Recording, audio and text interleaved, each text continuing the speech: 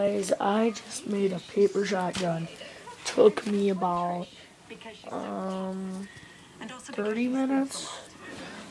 I don't know what kind of shotgun it is, but uh, got a trigger handle, stock, got where the shells go, and the pump, sight, barrel, uh, side of the pump. Just put two tubes right there. Um, top barrel. Um, all out of paper, basically, and tape.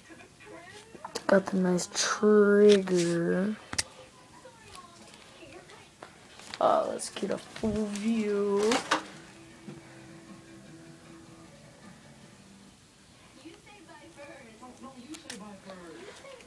Um,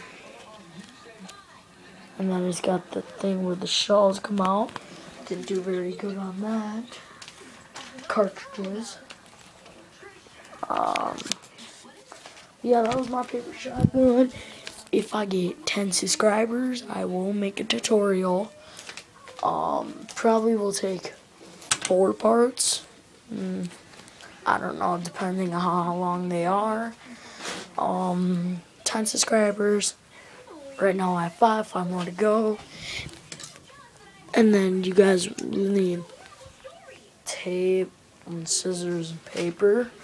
I will make another one if I get 10 subscribers. Again, five, halfway. Okay, guys, so